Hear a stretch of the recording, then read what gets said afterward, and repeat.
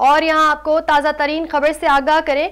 District and session court Islamabad में कमसिन मुलाजमा Rizwana तशद case की समात तेरह जनवरी तक मुलतवी कर दी गई। सीसीटीवी से मुतालिक दरख्वास्त पर एग्जीक्यूशन से तेरह जनवरी को दलाइल तलब कर लिए।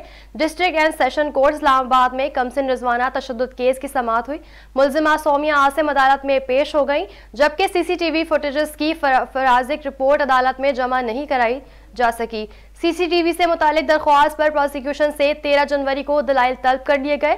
सीडीआर फराहम करने की दरख्वास्त पर दलाइल भी अगली समात पर होंगे।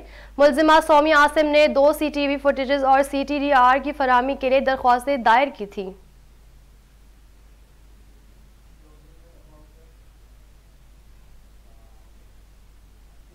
न्यूज़ स्टूडियो से फ़िलहाल इतना ही। मजीद न्यूज़ और अपडेट्स के लिए देखते रहिए उर्दू न्यूज़ नेटवर्क।